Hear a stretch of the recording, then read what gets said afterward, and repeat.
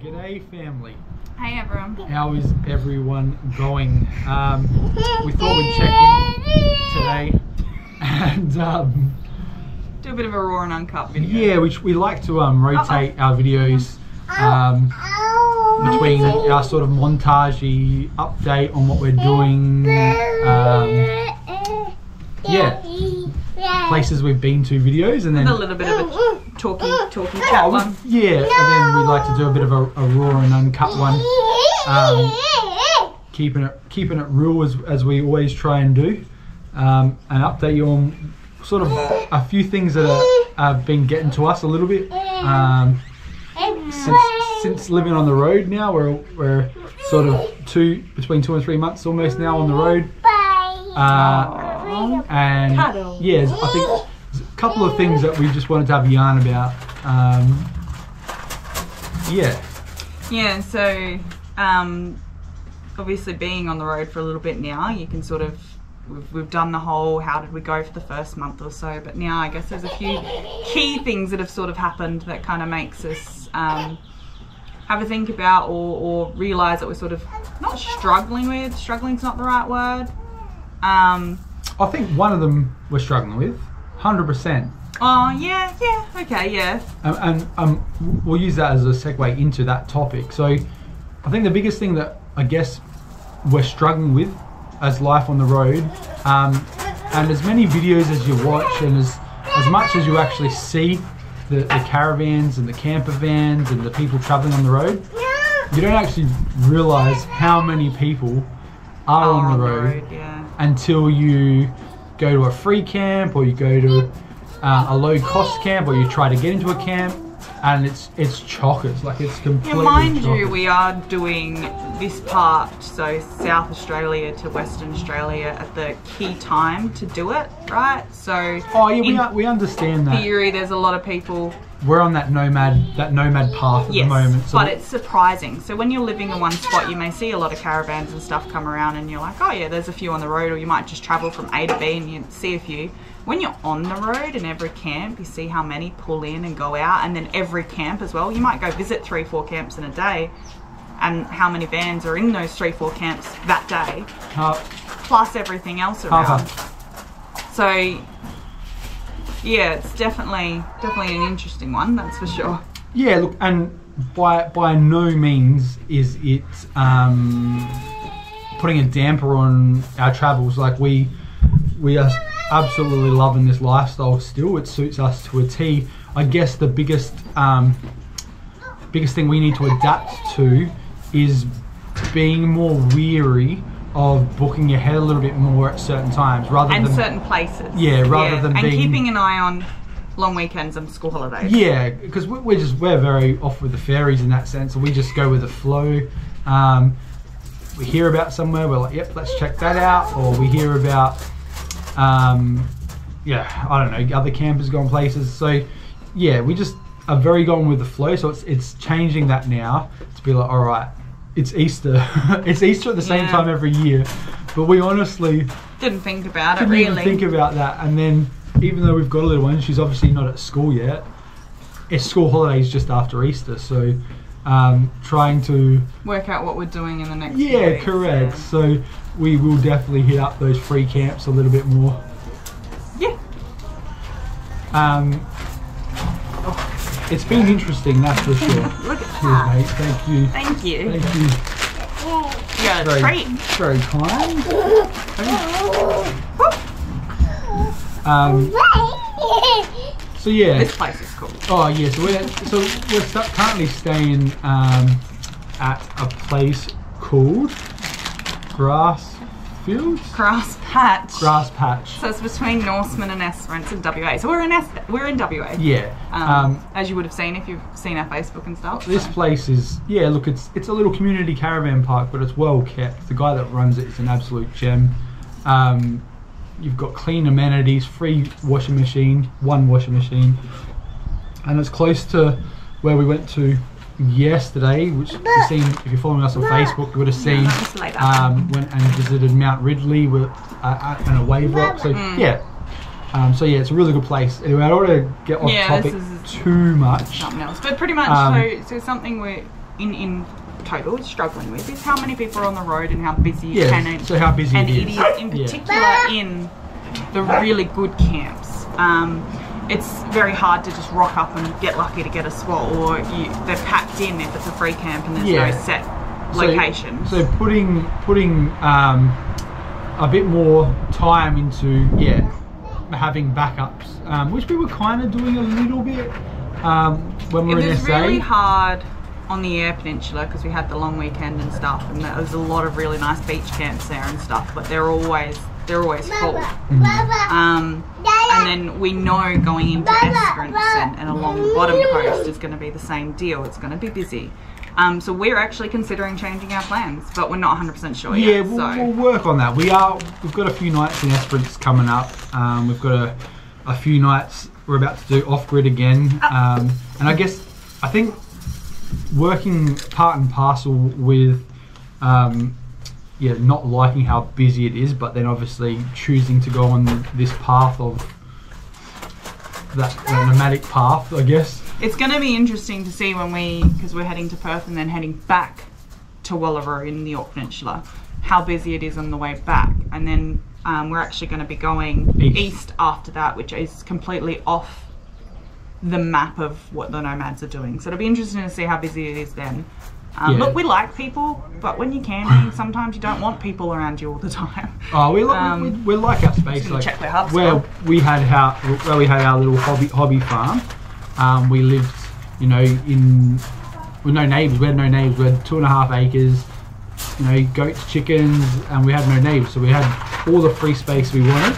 Um, and I, so it's adapting. We're adapting. Um, like we're loving it, We're- and we're, we're you know starting to open up because we're um, introverts for the most part. Um, so we're, we're starting to open up a little bit more with this lifestyle, which is really really good. Um, I think this is actually a really good segue that leads into to the next thing, the next topic we kind of wanted to have a chat about, and that was slowing down. So when we were in um, South Australia, we for the most part were really just cruising, like, and that was that was good. But at the same time, we kind of wanted to get out of SA and hit hit Western Australia. Yeah, it was kind of an. So we would slow. We could have probably done it slower, um, but we wanted to get to WA as well. So there was kind of sometimes there was an urgency, in particular when we started to get towards the end of SA, Yeah, yeah. um, just before the Nullarbor, we kind of quickened up a lot, and then over the Nullarbor because we were very unsure how we'd go with resources and stuff Yeah, like that as well. So it's still getting to know our, our setup, even though we'd spent probably almost like two months in SA on, on like this massive shakedown trip. Um, because you, you're in a comfortable environment, even though you're going to places you might not have been to in your own state, you still feel like you're at home. Like it's you still you've still got those SA number plates, and you you know you're still you're still a local, even though you're And then tourist. the thing in SA as well, the towns are quite close where we where we did the Eyre Peninsula. There's quite a lot of towns, quite a lot of dump points, quite a lot of water fills. Um, so you kind of were comfortable no matter where you were. It wasn't far to get Hmm. those things. Whereas once you hit the Nullarbor, it's few and far between. But it's good though. Like we've loved it. Um, you know, starting to push to push our setup and starting Hmm. to push what we're capable of, and that's what life's all about, right? Is just that's how we live our lives. Just doing it and, and learning on the go. You know, we, we listen to people, um, listen to advice, um, but we obviously still um, get out there and learn it all for ourselves. Um, so it's been it's been good now. We've just started Not for me. to. We've, we've just booked another Thank night you. where we're staying now, um, and yeah, we're about to kick back and just spend an extra night here, which is good. Yeah, here and then the next place we're actually going to spend three days at just a free camp. Yeah, That's- completely off grid. That's Um, just, it's not a it's nothing popular special. one or Nah. anything like that, but it's just out in the bush. It's just going to be nice to sort of just chill. yeah, it's got space, like a space for the dog to For run. To and run and then Harper for Harper and to explore, and us to do yeah. things with. So it'll keep us busy enough, but it will be it'll be good to start slowing down. So yeah, we're just going to start doing two to three nights and possibly even four nights. Um, we also noticed as soon as we started moving quicker, our budget blew out a little bit more, but that's a whole nother topic. Yeah, budget. Oh, because you, you we were driving a lot more, so fuel Yeah, costs were going through the roof. Um, not not so much. We're not so much worried about what fuel cost per litre, just completely how much we would we were driving, and not just with the Nullarbor, we were we would yeah just sort of No, no, no, needed you to got one. back a little bit and take our time, explore um, the area we're in, um, like we're doing now. So, and Yeah, I think, I and think the individual camps too. Like we generally rock up and we do things most days. Um, there's been a few times that we notice we need to slow down and just have a day to break. Uh, and Yeah, I 'cause- think we're getting to that point again where we were like, you know what, we, we need to stop forgetting that we need just days we don't go out just chill. Yeah, out of the car we, we lost it a bit because we were on a you just wanted to keep moving. I think we just wanted to get to WA wanted to get so to WA. much. Yeah. Um, so we just kept moving, moving, moving, moving, moving, moving. Um, but we're but we're here in WA now, so recognised, and we're now going to just yeah kick back and take our time a little bit more with the whole thing. Yeah. Um, so on on the space note, um, we wanted to also just touch base on. We've obviously got um, Harper, uh, our daughter, and then we've also got our dog Loba uh, that we um, is travelling with us. Yeah, so talking about being in the car a lot, um, we've noticed a couple things. Uh, actually, Harper's a trooper with travelling. She's really good, actually. Um, touch wood, she stays like that, but she was pretty good for the most part. However, we hit our first big hurdle. Well, what would I say big hurdle with Loba? Oh, it's not a big hurdle. It Like wasn't- she's had a she's had a change, right? She's she's gone from living on And next two and a half acres. She was starting to do really well. Yeah, two and a half acres of like property where she could just run around. She would go run with the goats, chasing mice and rats or whatever, watching the chickens and the cat. Um, to now being stuck in a in a car for like long distances. Um, she gets Which a lot of usually a pretty good car yeah, traveller. and she gets a lot of run time. Right, so, she plays all the time, frisbee, ball. Like she gets a lot of time um, to exercise. She's a Kelpie cross, so she she needs it to stimulate her mind. what do you say? Um, but she was sort of starting to get a bit um, anxious, I guess you could say, anxiety, whatever, which she got better with. Yeah, so I don't know if we touched on it in the last video much, but um, yeah, she really flared up with just stressing out when we moved to camps because it was very new. She'd get comfortable in a place and then we'd move, and she started to struggle with that. However, that's kind of become norm now, so she's a lot better Yeah. with moving from camp to camp. She's not struggling like that anymore. But then when we travelled and we hit WA, Oh yeah, so in, in WA, for those that don't know, when you cross the border for the first, I don't know how many Ks, every so often there are cattle grates Mm-hmm. on the road, and for whatever reason that just stirs her. So like you go over and like she'd, she'd be asleep and she would jump up and she would start to freak out and then she'd sort of settle a little bit. This was the first one and then we went over another one. And she'd jump up again and then like three into it. You start three into it. She started to um, full on freak out and I'm, I'm talking like she would not calm down. She was panting, she was drooling, she was struggling to relax, she was turning her face in the back of the chair, even going over small bumps which she normally has no problems with was freaking her out.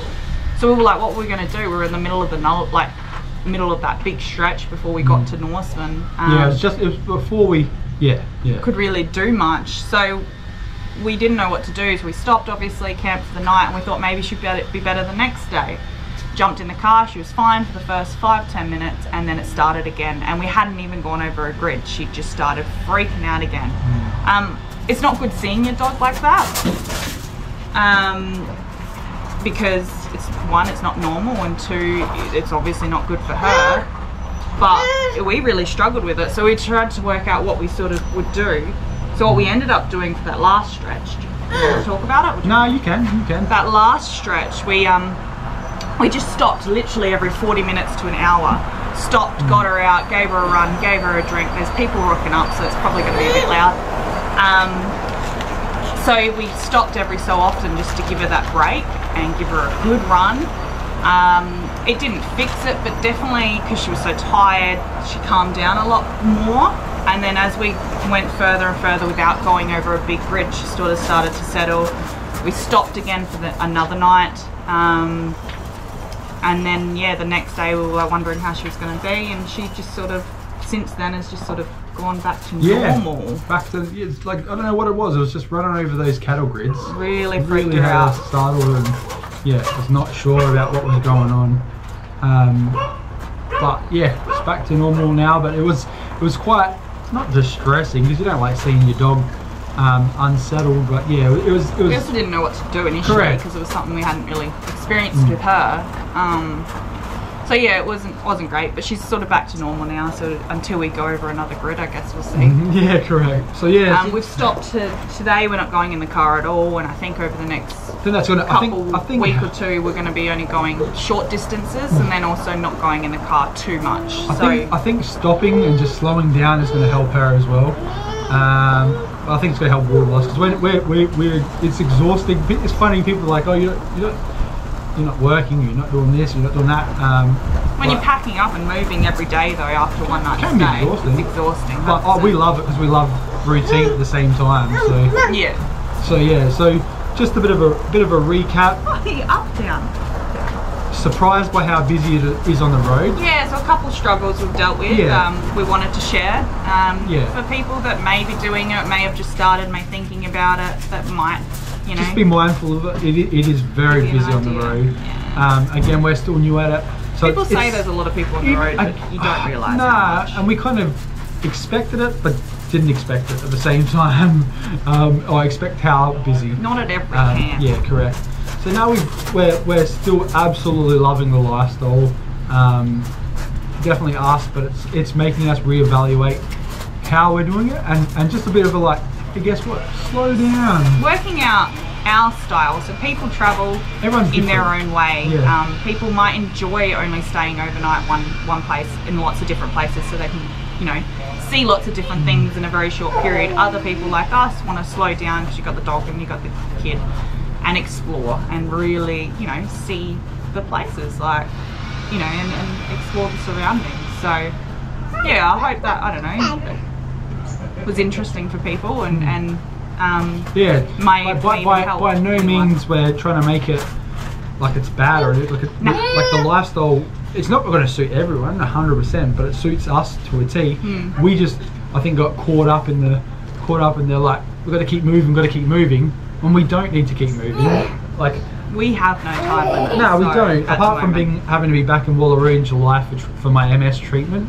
Which we've already said, if we, for example, we didn't make it to Perth, which Yeah, I think we will, that's fine. We're happy. You know, whatever. We'll we'll see it another time. So we'll come back. So it's it's Um, been it's been great. It's been a great learning learning experience for the team. what are yeah, we just doing? thought we'd share our perspective on it all, and um, we'll get back to sight, sightseeing careful. in the next in the next video. Um, but yeah, any questions, by all means, fire Ask. away, and you know, if you, even if you have a bit of advice yourself, feel I've free to that. impart it on us because we're, you know, always happy to take advice on your experiences on want the road. Um, what do you say? and yeah, hopefully we'll bump into some of you guys along along our travels and have a yarn, sit down and have a yarn. Well, we better wrap it up. It's Yeah, getting loud. getting very busy. All right, guys. Alright, Thank see you. ya. See you Thank later. you.